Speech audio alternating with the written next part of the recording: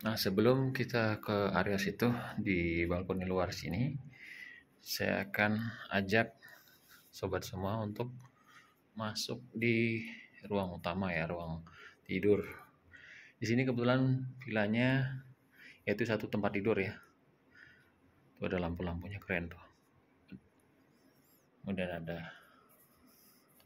meja sama kursi di sini buat tempat mungkin yang suka main laptop atau suka baca buku atau sekedar duduk-duduk manis bisa di sini.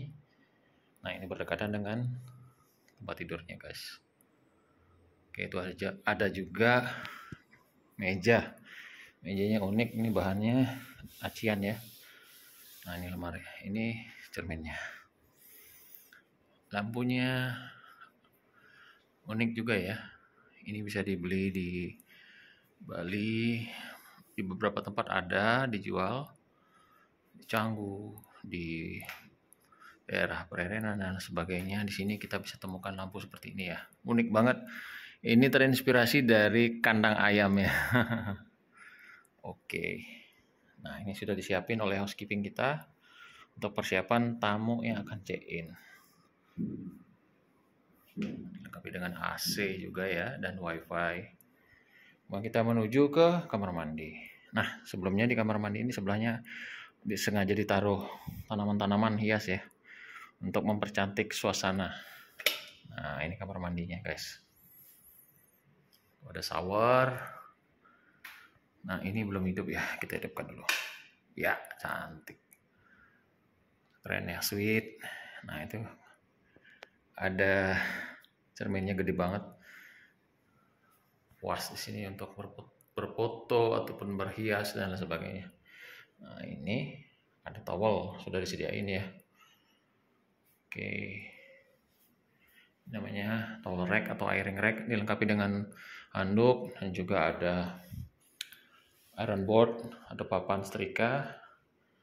Dilengkapi juga dengan safety box. Oke.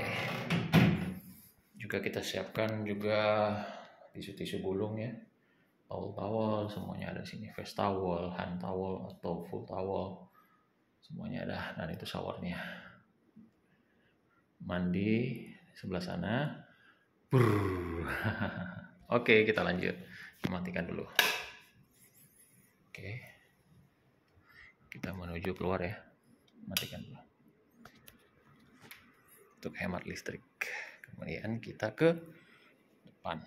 Nah ini kalau pemandangan dari sini kita bisa lihat oh tuh poolnya sebelah sana. Kelihatan ya? Tuh tempat ayunan bisa tidur tiduran di situ sambil menikmati semilir angin ya. Semilir angin yang menuju pantai seseh. Kita menuju sana yuk.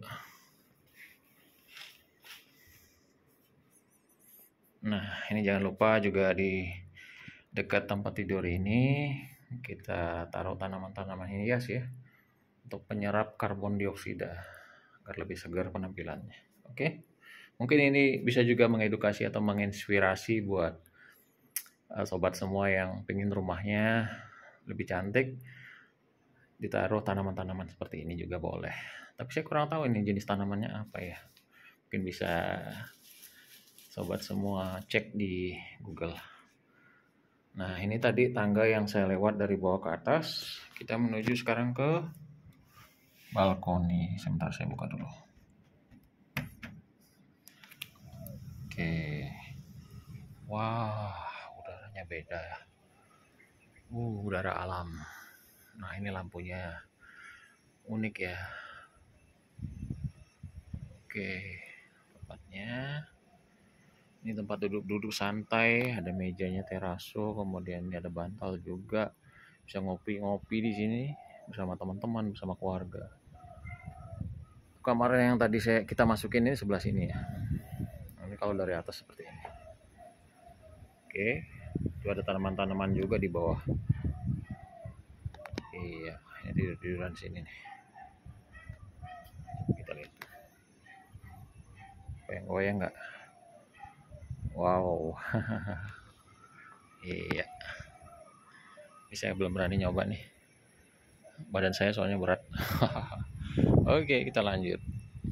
nah ini nih pemandangannya deket sama sungai guys tuh pantainya sebelah sana pantai seseh kalau ini tetangga oke ini juga ditanamin dengan tanaman palem sebelah sana oke di atas sip. Seperti ini